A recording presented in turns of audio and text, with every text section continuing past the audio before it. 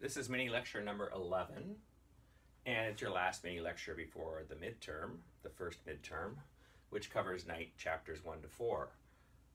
In this mini lecture, I'm going to cover Knight 4.5, which is a topic called centripetal acceleration. Centripetal means the acceleration towards the center. Now, before I do that, though, I want to just point out how much we've covered and a, just a couple of sections you can omit. So we have covered in the last mini lecture 4.4 and 4.6. However, in 4.6, I defined alpha is equal to d omega dt, the angular acceleration. So that means that I've covered 98 and 99, including the example at the top of page 100.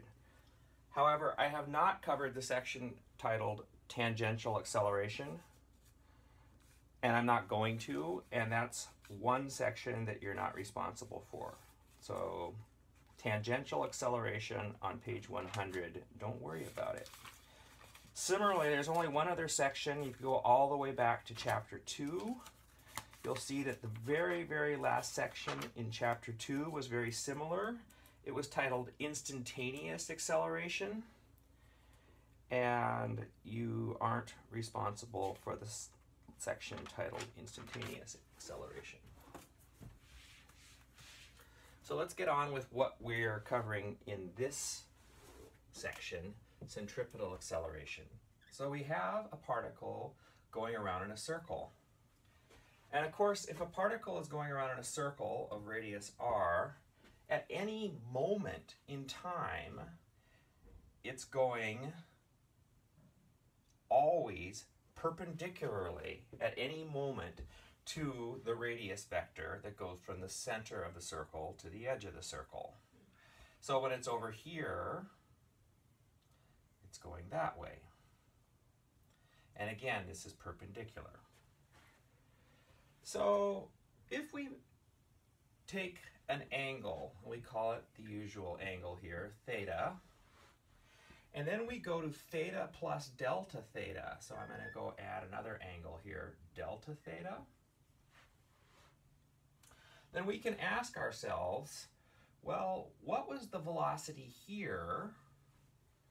And I'm trying to draw these the same length. This is uniform rotational motion same length, I'm trying to say what is the difference between this, which might be v at time t, and this, which would be v at time t plus delta t. The, what is the difference between this velocity and this velocity during which time the particle has gone around delta theta?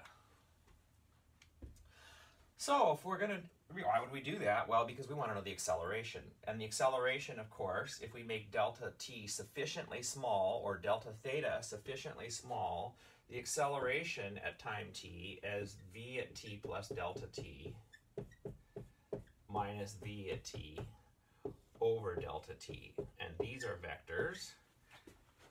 Take the difference, divide by delta t. I haven't written it here, but take the limit delta t goes to 0 you've got the acceleration. Okay, so we need to do that little computation. And the way we do that computation is we bring the tails of these two vectors together. But first I'm going to use the fact that, will remind you of the fact that both of those are right angles. And these two vectors have the same length. And this angle that's shifted here is delta theta. So if I copy these two vectors over, v at t and v at t plus delta t, so here I'm copying over v at t, and here I'm copying over v at t plus delta t. If I do it nice and neatly,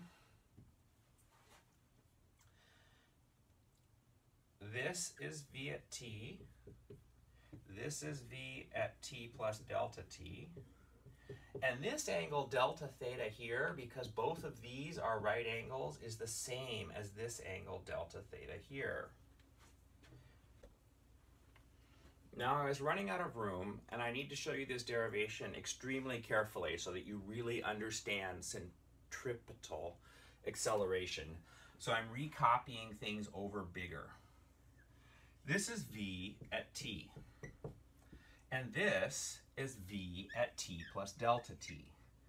And notice these two vectors have the same length. But they differ in direction, we've already argued, by an amount delta theta. And we need to know v at t plus delta t minus v at t. And that vector is graphically represented by that.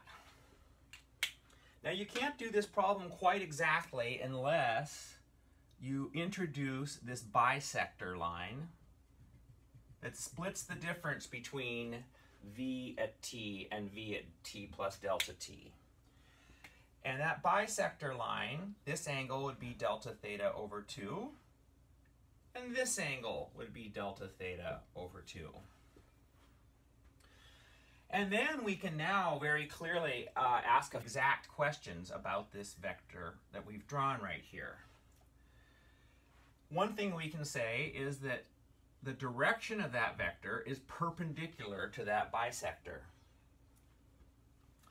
And another thing we might really like to know is the length of that vector, which just for a moment here I'm going to call b. The length of that vector, you have to look at this diagram and go, well, how am I going to get that? Well, if you look carefully, you'll see that this little part right here, half of little b, b over 2, is equal to the sine of this angle times the length of the hypotenuse side. So b over 2 is equal to the sine of this little bisector angle, which is sine of delta theta over 2, times the length of this side here, which is the hypotenuse side. That's the length of v. And I don't have to be specific about whether that's the length at v at t or the length at v at t plus delta t because this whole thing is part of the problem of uniform circular motion. So uh, the velocity, length of the velocity vector is unchanging even though its direction is changing. So there's our formula. b over 2 is sine of delta theta over 2 times the length of v.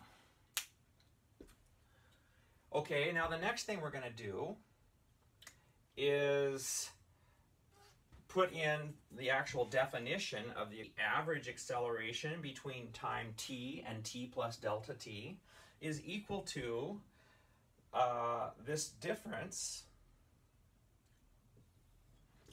divided by delta t. And we've just figured out what the uh, length of this thing is the length of this thing, b is 2 sine delta theta over 2 times v. Now if you go, if you measure delta theta in radians, and you go to a tiny number of radians, so delta, remember, we're going to take the limit that delta t goes to 0. And if delta t goes to zero, then the amount of angle swept out by this particle is going to zero. So delta theta is also going to zero. So that means we can use an approximation here on this thing, which is only true when delta theta is tiny, and by the way, is only true when delta theta is in radians. And the approximation is that sine of an extremely small angle is the angle itself. So this thing right here we're going to approximate as delta theta over 2. Okay. Well, that's nice because then the 2's cancel. And so what we're left with is delta theta over delta t times v. This is an approximation, but it's a good approximation in the limit that delta t goes to 0. And now let's take the limit that delta t goes to 0 this becomes, we can drop the average off the A, and this becomes A is equal to limit delta t goes to 0 of delta theta over delta t times V. And that was the magnitude of A. And we already know the direction of A. The direction of A is perpendicular to this bisector line that was between v and v at t plus delta t. But in the limit that delta t goes to zero, that becomes the vector that's perpendicular to both this and this and that. Why? Because in the limit that delta t goes to zero, all those are squashing down to be the same direction. And uh, the length of v is a constant.